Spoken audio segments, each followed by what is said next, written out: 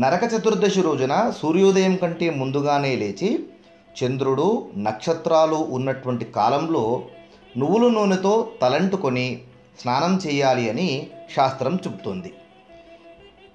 ఎటువంటి పరిస్థితుల్లో కూడా సూర్యోదయం అయిన తర్వాత స్నానం చేయకూడదు. కేవలము చంద్రుడు నక్షత్రాలు ఉండగానే స్నానాన్ని ఆచరించాలి. ఇది రాత్రికాలంగా చెప్పబడి ఉంది. ఈ సమయము చంద్రోదయం ఇరవై ఎనిమిది గడియలకు అవుతుందట. అప్పటికి ఒక గంట మాత్రమే రాత్రికాలం మిగిలి ఉంటుంది. చంద్రుడు ఉండగానే ఆ తెల్లవారు జాలు కాలంలో తలంటుకొని స్నానాన్ని చేయాలి. ఈ చతుర్దశి రోజున ఈ దీపావళి రోజున నువ్వుల నూనెలో లక్ష్మీదేవి కొలువై ఉంటుందనేటువంటి భావన మన సాంప్రదాయం చెప్తోంది కనుక నువ్వుల నూనెతో ఈ చతుర్దశి రోజున స్నానం చేయడం అనేటువంటిది ఆచారంగా ఉంది. ఇక స్నానం చేసేటువంటి వారు నదీ స్నానాన్ని చేయాలి అని లేదా కొలనులోనైనా స్నానం చేయాలి అని మనం చెప్పుకున్నాం. ఎవరికైనా ఈ విధంగా అవకాశం లేకపోతే ఇంట్లోనే స్నానం చేసేటువంటి వారు చేయాల్సినటువంటి విశేషం కూడా మనకు మన సాంప్రదాయం చెప్పింది. ఈనాడు జలమందు గంగాదేవి తన కలలతో సమాహితమై ఉంటుంది. అభ్యంగన స్నానముకు కావలసినటువంటి నీటిని ఒకరోజు రాత్రి ఎందే పాత్రల్లో నింపుకొని ఆ నీటిలోకి జలాది దేవతను ఆహ్వానించి సకల మహానది దివ్య తీర్థ సాన్నిధ్యమును కలగజేసి గంగా గంగా గంగా అనేటువంటి నామస్మరణ చేత పూజించి ఆ నీటిలో తుమ్మి ఉత్తరేని తగిరస చెట్ల యొక్క ఆకులను అందులో వేసి బాగా కలియబెట్టాలి. మరునాడు ఉదయము సూర్యోదయం కంటే ముందుగానే ఇదే నీటి చేత స్నానాన్ని ఆచరించుకోవాలి. స్నానం చేసేటువంటి సమయంలో ఉత్తరేణిని తల చుట్టూ క్లాక్ వైజ్గా మూడు సార్లు తిప్పుకుంటూ ఎలాంటి శ్లోకం చెప్పుకోవాలి అనేటువంటి విషయము మనం గతం వీడియోలో చెప్పుకున్నాం. ఇలా ఉత్తరేణి తుమ్మి తగిరస చెట్ల కొమ్మలతో కలియబెట్టినటువంటి నీరంతా కూడా విద్యుత్ ఉత్పాదనం అవుతుందట. కనుక ఈ విధమైనటువంటి ఓషధుల సమ్మిళితమైనటువంటి సదరు నీరు మన ఆరోగ్యానికి చాలా ఉపయోగమవుతుంది.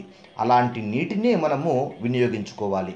నరక బాధ తప్పించేందుకు ఉత్తరేణి ఆకులను తలపై ఉంచుకొని దక్షిణాభిముఖంగా కూర్చొని యముణ్ణి తలుచుకొని పితృదేవతలను స్మరించుకొని స్నానాన్ని ఆచరించాలి అని మనకు సాంప్రదాయం చెప్తోంది.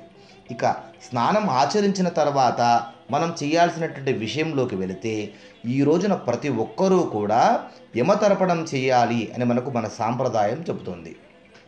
యముడు పితృదేవతలకందరికీ కూడా అధిపతి.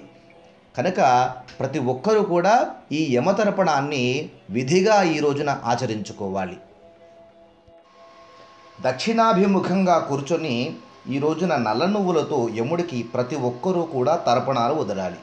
నిత్య పితృతర్పణం చేసేటువంటి వారు తండ్రి లేని వారు మాత్రమే చేస్తారు.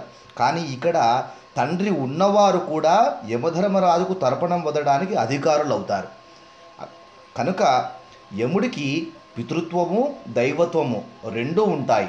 అందుకే ప్రాచీనావీతిగాను నివీతిగాను దక్షిణాభిముఖులై ఉభయద తర్పణాన్ని చేయవచ్చు. తల్లిదండ్రులు ఉన్నవారు మాత్రము నివీతిగా అంటే యజ్ఞోపవీతాన్ని దండలాగా వేసుకొని చేయాలి. ఇక తండ్రి లేనటువంటి వారు అపసవ్యంగా యజ్ఞోపవీతాన్ని వేసుకొని వారు తర్పణాన్ని వదులుకోవాలి. ముందుగా యమధర్మరాజుకు ఇప్పుడు చెప్పబడేటువంటి శ్లోకం చేత నమస్కారం చేసుకోవాలి. యమాయ ధర్మరాజాయ మృత్యవే చాంతకాయ చ వైవస్వతాయ కాలాయ సర్వభూతక్షయాయ చ ఔదుంబరాయ ధర్మాయ నీలాయ పరమేష్ఠినే మహోదరాయ చిత్రాయ చిత్రగుప్తాయతే నమ. ఇది యముణ్ణి ప్రతి ఒక్కరూ కూడా ప్రార్థన చేసుకునేటువంటి శ్లోకం. ఈ శ్లోకాన్ని బ్రాహ్మణులు కానీ వైశ్యులు కానీ క్షత్రియులు కానీ శూద్రులు కానీ స్త్రీలు కానీ ఎవరైనా సరే ఆ యమధర్మరాజును స్మరించుకుంటూ చెప్పుకోదగినటువంటి శ్లోకం. ఇక తర్పణం చేసేటువంటి వారు నల్ల నువ్వులను కుడి చేతిలోకి వేసుకొని దర్భను కుడి చేతిలో పట్టుకొని ఓం యమాయ తర్పయామి తర్పయామి తర్పయామి అని మూడు సార్లు నువ్వులు నీళ్ళను వదిలివేయాలి. ఆ విధంగా ముమ్మారు వదిలివేయాలి.